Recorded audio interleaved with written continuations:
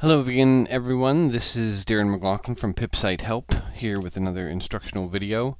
This came in um, from Pat actually apparently she'd been having some trouble with uh, users having issue pasting in pre-formatted text as uh, posts in their WordPress blog and not having it format properly. There is a formatting option inside the WordPress post editor and what you'll see here is that I'm inside my WordPress admin area. I'm under posts and I've hit add new. This is where you would add a title. And then you would paste your content. And as you can see here, I've pasted in a big chunk of content and you'll see that it sort of goes way out to the side. And people have been having trouble that when they publish this, it's stretching and skewing their template and it's just wreaking havoc with the layout and design of their websites, specifically with the standard uh, plugin profit template.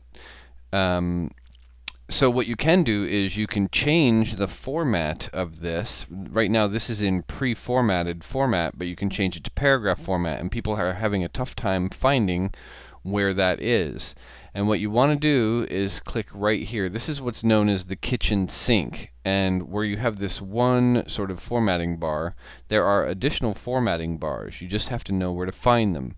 So you want to click on that one time, and you'll notice that it drops down a whole secondary list of uh, formatting options here. The one we're interested here uh, is the paragraph formatting. And if you click this little drop down, you'll see there's paragraph format, address format, pre-formatted, which is what we currently have this text in. And then you can set heading 1 or heading 2. There's a list of other heading sizes. But if we change this to paragraph format, watch what happens to the text. It converts and will now fit within the layout and display of your template. Um, and you can play with this back and forth. If you're having trouble with it in paragraph, you can put it in pre-formatted. If you're having trouble with it in pre-formatted, try clicking it over into paragraph. And then hitting publish in order to make it go live to your site and just go check your site.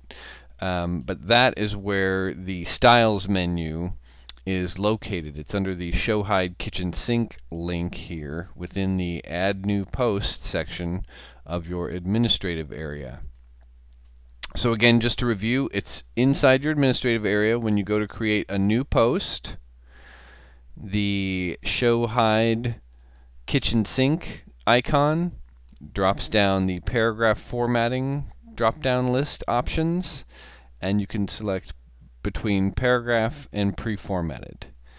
That's all I've got for you today. This is Darren McLaughlin from PipSite Help. Don't forget to follow me on Twitter uh, like my Facebook page, and don't forget to subscribe to my YouTube channel. Thanks very much. Take care. Bye.